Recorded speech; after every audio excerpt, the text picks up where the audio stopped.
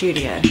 I had planned to do a canvas a while ago, not only just for the website, but for myself, put it up in my home, having a few things change in my home, and I wanted to get some artwork done for that to kind of bring the room together. This will be one of those pieces, so unless someone offers me, you know, some money. The inspiration for this one, because it looks like a mess, but a good mess, you know, like a really, oh, I love it, mess. It was the Neo colour thing that I did. This.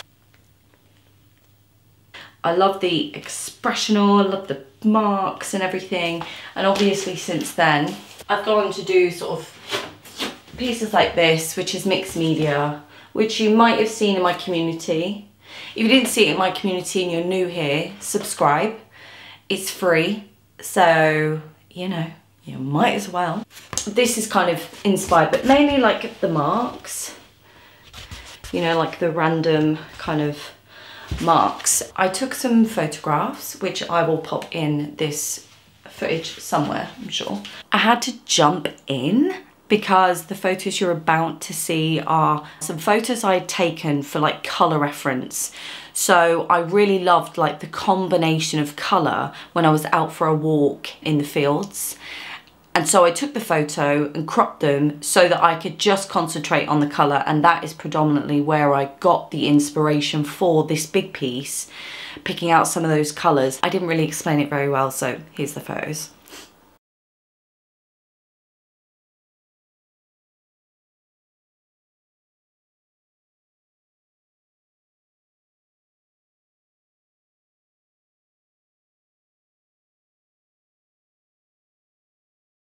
Chair, see it's so great. I can kind of go around, collect stuff for you, spin back around, bring it to you. It's like a conveyor belt of, you know, artwork. Anyway, I have four pieces. This is number one of four, so there's three other pieces to do. I'm probably gonna get more canvas. Yeah, I'll have to anyway, because my husband won't let me paint over the horrible stuff downstairs. Oh, honestly. And canvas is prime estate. I think you're well within your rights to if you're not obviously at art school though, if you're at art school, you can't do that because they need to assess your work, blah, blah, blah. So you just see me dance around for about, probably speed this up or clip it. Either way, there's gonna be a couple of minutes where you've just seen me dancing around. What I love to do, and I'm sure that other people are like this, I like to listen to music that reflects emotion I want my work to convey. Does that make sense? So I'm in a really good mood. I'm really happy. I want my living room to be cozy, warm, bring the inside out, and I want my artwork to reflect that. I enjoyed this so much. This is just like, uh, the light is kind of making a really, you know what I'm like with my light. I've yet to learn. I'm yet to learn about sufficient lighting which is ridiculous because I used to curate, so it, you could argue that it's a transferable skill. This is delish. I want you to know that this is all paint. This will be like one of many layers. You know, for those of you who do paint, you'll get it. For those of you who don't and want to paint, it, you just need to trust the process. And it's true, it really is true. You must, must, must trust the process. You need to resign yourself to the journey, you know? And it needs to be fun. I think that's so important. I have been there, I've been there, trying to crack the bone that is hyperrealism, you know, hovering over that blank space with the finest of brushes, trying to give skill, because that's what I thought skill amounted to. In light of this though, I think we can all argue that yes, you may think that this is a pile of crap. And as is your right, I'm not offended. No one's offended. However, to think it's a pile of crap and then assume that there's lack of skill is, I would call ignorant. And a, a couple of reasons. When you work in such an expressional manner, you've especially in color, color is only something that I've really like enjoyed when I started my practice again with you guys, right? Before then I was very much monochrome, very much about, because I was three dimensional in my head. So the idea of going towards colour. I felt colour was a distraction because I was really into marks. You have to think about colour that complements my oath, think about tone, things that jar. Do you want it to jar? Do you not want it to jar? Do you want it to complement one another? Either way needs to be a cohesive visual story on a flat plane, coupled with marks, as I've said. So when you're thinking about the marks you're making, how does that read? And also on top of those two things, which you think I'm just breezing over, I might add, you've also got to think about composition because regardless of whether you think it's abstract, it's a pile of crap and you're just throwing medium at it, fair enough, as is your right, said before. However, composition is key, like so key because even an abstract piece can feel jarring to look on. Yeah, and not in a good way, not like, excuse me, in an intentional way. If you're not familiar with composition and, and finding areas, pockets of space that you flatten out to let the viewer's eye kind of cascade round, you, you, it's like a journey. They don't know that that's how you've done it while you're doing it. That's your right as the creator to dictate how the viewer's journey is going to be like when they're looking at your work. And it's a privilege um, but it also is a consideration. So yes abstract work might not be your forte or your gig cup of tea if you will. However bear in mind the amount of decisions work blah blah blah that goes into creating such a expressional piece I love it. I find it freeing, I find exercising. And you know, my struggles on trying to translate that same passion and that same freeing element that I find in my sketchbooks, I've now started to plonk on canvas. Well, it's great, isn't it? Isn't it? Isn't it fabulous? I'm delighted with myself. Over another hump, guys. Over another hump it's going to be, yeah, it's going to be a journey. Right. We are going to crack on with this now and hopefully in a week or so, this is probably how long it's going to take, I'm going to have, we are going to have a finished canvas. What I usually do, I, I do it to a point I think it's finished I put it on the wall and I live with it and then I just titivate it every now and again. The amount of times I've gone down with like a tube of paint and a paintbrush in hand sort of painting the painting on the wall. My husband's freaking out thinking I'm ruining it. Oh, let go. Let go, Sonny Jim. Come on, sweetheart. You need to you need to let go and stop being so sentimental. Let me shine my light. Good morning. Um, Oh, get a cup of tea. As you can see, the painting has changed quite a lot. One thing that I've been umming and ahhing about is adding mixed media. So the glitter for one, obviously. This will continue to evolve over a period of time. I'm unsure of it at the moment. All I'm gonna do is I'm gonna do that alongside another canvas. So I've got some smaller than these ones, but still quite large canvases literally behind you. Put them under here uh, and work on them whilst I'm thinking about that one. Here, here we are, look. So I have an empty sketchbook next to the canvas.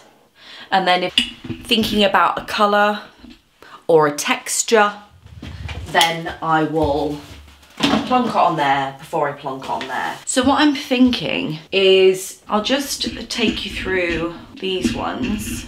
So you've got these two. These ones are really where the money's at, I think. In terms of the inspiration, the technique, these two. And you can obviously see some of my tree inspiration like these two in there. If one body of work had a love child with another body of work, this is what will what would come out, I think. I like it. I need more of this kind of thing. This very kind of colourful. I need it more up here and over there. I don't want to take over the whole space equally though. It still needs to be balanced. So I feel feeling some more. I've got love this orange coming through. I'm thinking about adding glitter. Now, in order to test this theory, I did do two things, and it did involve my stickeroonies. So these are some of the textures that I would be looking to... Day job. We've been caught out. You know, the, the cloud, I don't know whether you remember that. It was a, a happy accident, actually. It was a little experiment that I just adored. So, not that I would stick this to this, but I'm using it to see if it could take some glitter. We've also got this, which I'm yet to work on. I do have some grand plans for this bad boy, but um, it was intended to work on, so I might, might plonk that a bit there.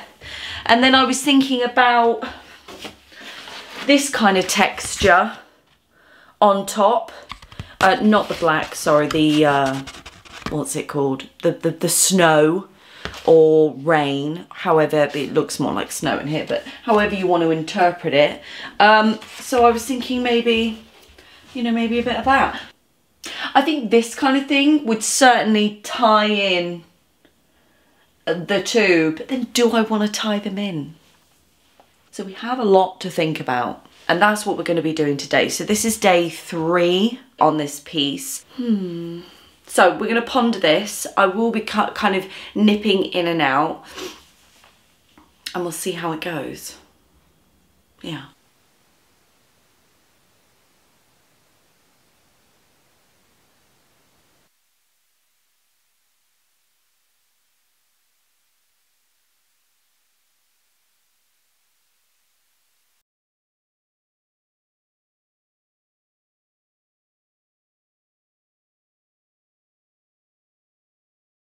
Didn't even turn your mic on. I'm umming and about it because I don't know whether to use glitter. I need to clean up some areas like this one, but I'm waiting for, that's pretty dry. I'll try and get in there. What I might do is live with it for a while, take one down, put one up. I don't want to seal it, so I don't want to put the varnish on it until I'm sure. This is always like the hardest part for me. I'm like, oh, what do I do? Like at the beginning, you know, when you're just messing around. That's my favourite bit. I love glitter. Love it. I just think it makes everything better and fabulous.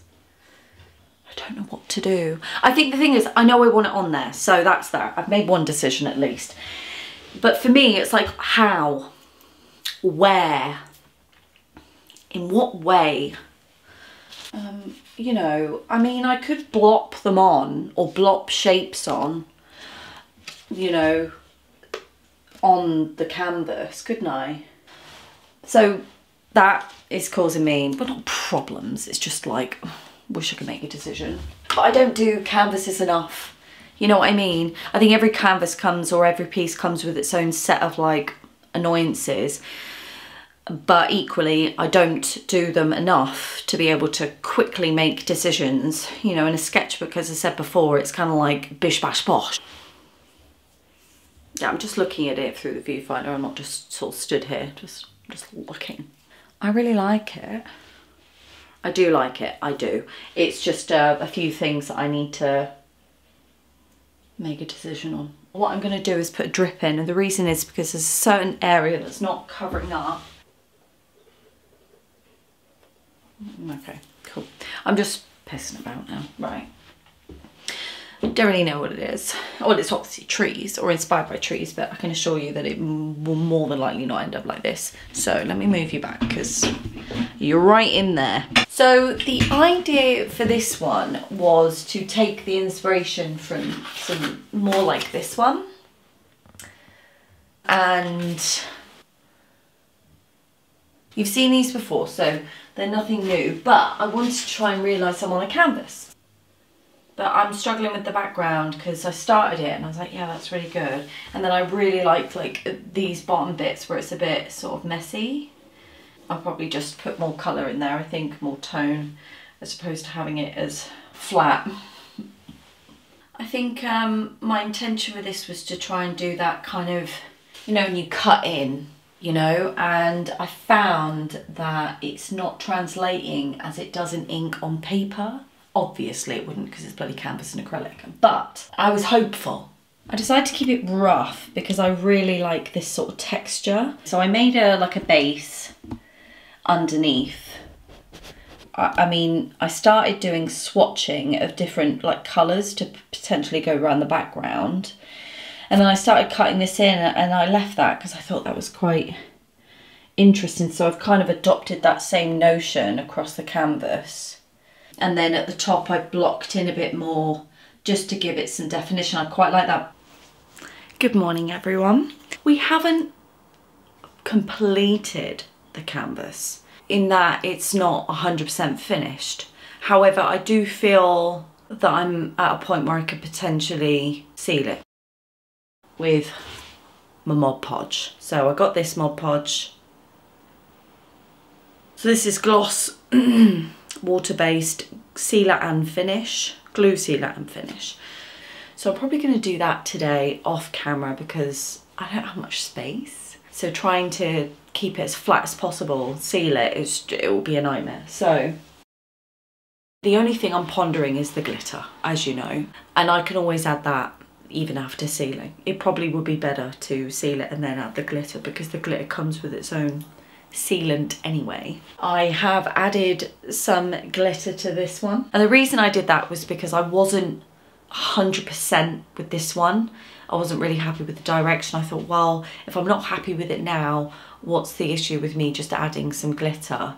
And then I can see how it kind of reads on there or could potentially transfer some of those ideas to the big boy. We have had a lot of new subscribers for this channel and wow. Thank you so much for joining me on this crazy journey. Basically the journey is if you haven't already established is i am vlogging or basically documenting my attempt at becoming a self-sustaining artist or a full-time artist that's the dream, that is the goal. And I vlog about it. You don't only know I will be launching my website in May. It was July, but I realised the other night that my first upload was in fact May. Plus it's closer to us, you know. Next week I'm not sure, it's weather dependent, if that gives you a bit of a, a bit of a hint. You know what to do. If you're not subscribed, subscribe. I'm told that the bell and the likey thing and comments all help. So if you find anything interesting or you want to know anything, please don't feel like you can't comment. Please comment. I love it when I get comments. It's really lovely. It's um I want to create that community and I appreciate you engaging with me every week. It's so weird doing this. I'm so terrible at at doing this whole subscribe like bell thing. People people just sort of you know, streamline it. We have new subscribers. So welcome, welcome everyone. It's lovely to have you here and I do appreciate all of you very much and you're all a part of the same thing. You help me out a lot. A lot of the comments, messages that I get in and outside of YouTube, they really do help me to either make decisions by fellow artists and creatives or a new perspective on someone who's who's creative in a different in a different way. It's um yeah, it's like gold dust that. Subscribe, like, bell thing bob. And uh, yeah, thanks guys. I'll see you next week.